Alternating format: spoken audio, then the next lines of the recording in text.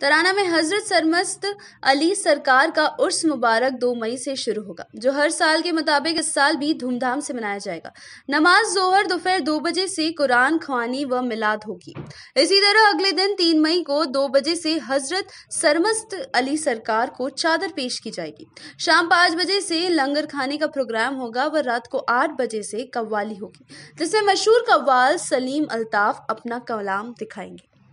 Committee के member Faheem पहलवान ने बताया कि उर्स में आसपास से और दूर दराज से हज़ारों मुरीद शिरकत करते हैं और शहर से हिंदू मुस्लिम सभी सरकार के दरबार में आपने श्रद्धा के सुमन अर्पित करने आते हैं।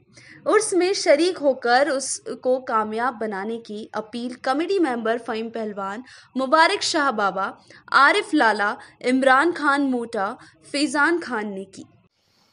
किस प्रकार का प्रोग्राम रखा गया है यहाँ पर? हर साल के मुताबिक इस साल भी उर्स मनाया जा रहा है बाबा सरमस्त की सरकार की नगरी में। जी उसमें क्या क्या प्रोग्राम रखे गए? दो तारीख के रोज चादर शरीफ ना नमाज़ जोहर बाद। जी। उसके बाद तीन तारीख के रोज चादर शरीफ है। जी। जोहर की नमाज़ के बाद। जी। शाम को ईसाबाद असरबाद लंगर शरीफ का प्रोग्राम है। अच्छा। और ईसाबाद कव्वाली का महफिल। ठीक है। कव्वाल कहाँ से आ रहा है? कव्वाल सलीम अल्ताफ पलटू जावरा रहा